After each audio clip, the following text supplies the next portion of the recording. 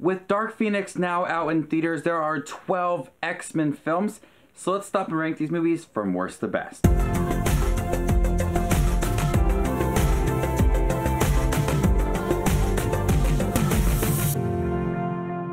Hey everybody, my name is Justin. I love to watch movies. If you guys love to watch movies, so you guys are in the right spot. Make sure to hit that subscribe button down below and consider hitting that bell notification so you guys don't miss any of my upcoming videos.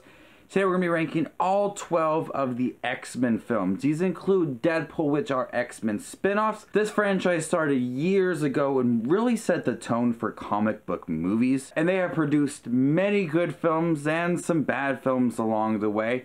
So before we do get started, leave your ranking down below for all 12 of the X-Men films, including the most recent one, Dark Phoenix. So let's start this list off with number 12, the worst film, X-Men Origins Wolverine. X-Men Origins Wolverine was the first standalone X-Men film. Hugh Jackman was ripped for his role as the Wolverine and I couldn't wait to see this film. But there isn't anything wrong with Hugh Jackman per se. Everything else in the movie just sucks. This is such a convoluted film that tries to cram so much into it. The film attempts to dig deep into Wolverine's past, but it's done so weak. It has an absolute terrible portrayal of Deadpool as well. Gambit is involved in the movie as well. The action is so shaky and poorly executed that you can't even get excited for what you're watching. X-Men Origins Wolverine was a poor attempt of handling this character and giving him a backstory, and it's a shame because Wolverine is one of the coolest X-Men characters. Coming in at number 11 is X-Men 3 The Last Stand. X-Men 3 The Last Stand saw Brett Ratner as the director after taking over the director's chair and he had a huge task at hand with developing the Dark Phoenix saga. The result was a film with terrible pacing and missing key points to Jean Grey's story. Some characters involved were decent like Magneto and Wolverine who felt more human in their role. The film also gave us Angel and Kitty as well, but really did not do much with their characters. The movie also tried to mix the storyline about a cure for mutants, but it never felt important throughout this movie. Coming number 10 is X-Men Apocalypse. Oscar Isaac portrays Apocalypse, one of the coolest X-Men villains of all time. As he gathers his four horsemen to try and destroy the world. Apocalypse is such a powerful villain, but he was underdeveloped in the film and didn't reach his full potential. The movie gave us teenage versions of some iconic characters like Sophie Turner as Jean Grey and Tye Sheridan as Cyclops. I like the actors involved in the film. I think it's a smart choice to go backwards in time to show them as a teenager. Quicksilver also gave us another entertaining super speed sequence, but the third film in this reboot trilogy understands that it's bad. And even the characters know that the third film in the trilogy is always the worst one. Coming in at number 9 is Dark Phoenix, the most recent X-Men film. This is the second attempt at adapting the Dark Phoenix saga. It was better than the first try, but still not a great stab at it. Jean Grey's story and struggle with the Phoenix Force feels simplified when it could have been grand. Jean's struggle with controlling her powers and discovering who she really is is something I find intriguing, but the films presented a weaker version of it. Sophie Turner is once again great as Jean Grey. I don't have a problem with her. Jessica Chastain is good in her role as well, but I wish the film gave Sophie Turner more to do. I didn't hate this film, but I didn't love it as well. Overall, I just think this movie felt boring when the X-Men were talking to each other, and I wish they would have handled this film a little differently. Coming at number 8 is The Wolverine, the second standalone Wolverine film. The second standalone film about Logan was much more grittier and straightforward compared to the Wolverine Origins movie. There is more depth to Logan as this film serves as a sequel to The Last Stand. Logan is still mourning Jean Grey's death, which you can feel in the movie. Some of the action is intense, while some of the action is also heavy on the CGI. This film also stripped Logan of his mutant healing abilities, which made him more vulnerable than ever. The end battle sequence between Wolverine and Silver Samurai did feel a little bit corny at times, but overall, this film is enjoyable. Coming number 7 is the first X-Men film. The first X-Men film set the stage for comic book movies. This movie offered a simple story and what made this film work is the casting. Hugh Jackman, Halle Berry, Patrick Stewart were all great in their roles. The movie also managed to do some great world building centered around mutants. The relationship between Professor X and Magneto felt authentic. It felt there was a solid reason why they hated each other and they were always against each other. X-Men made the mutant powers feel epic and added a lot of depth to the stacked amount of characters.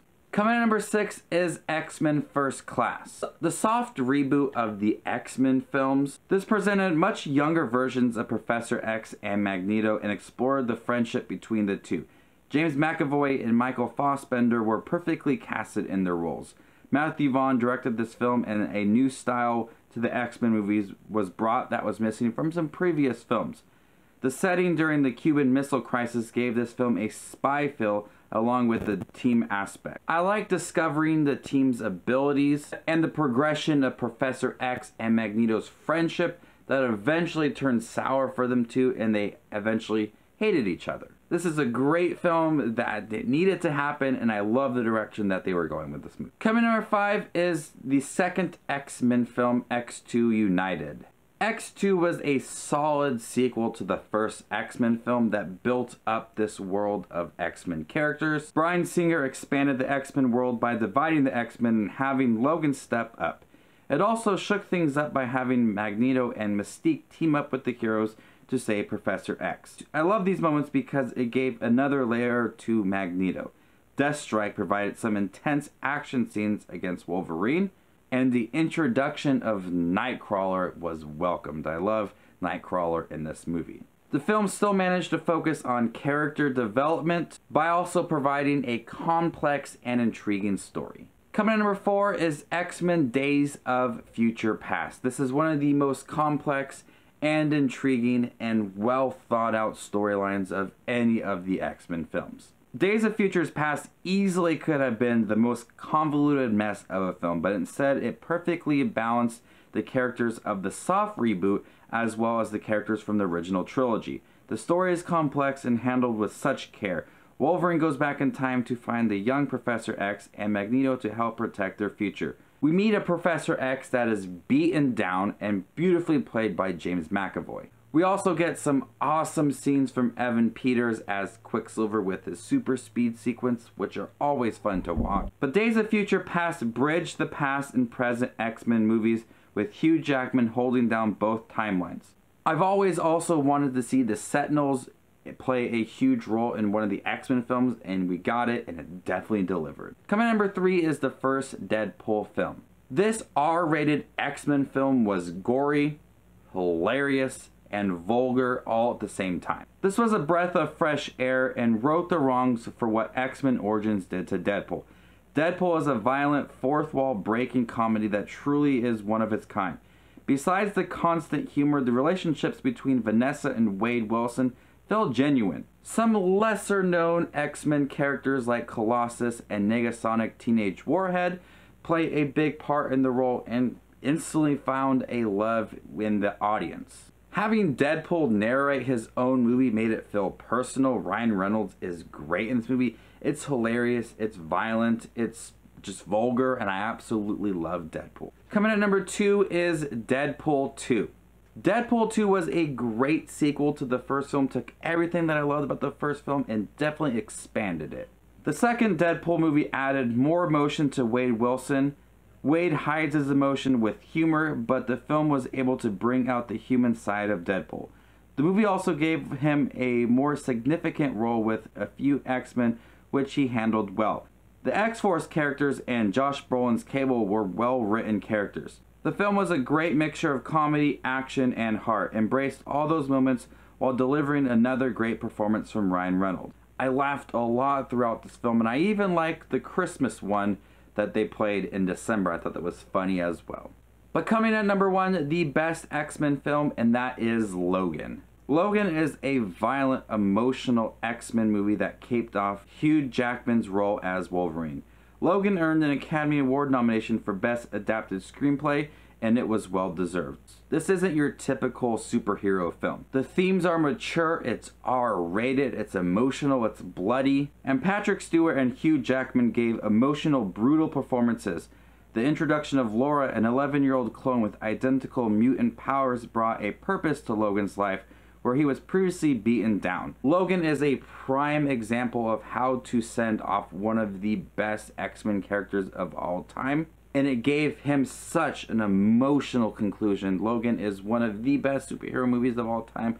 I love how it was written and I love how this film was handled. So there you guys have it, all 12 of the X-Men movies ranked worst to best. How would you rank these films down below?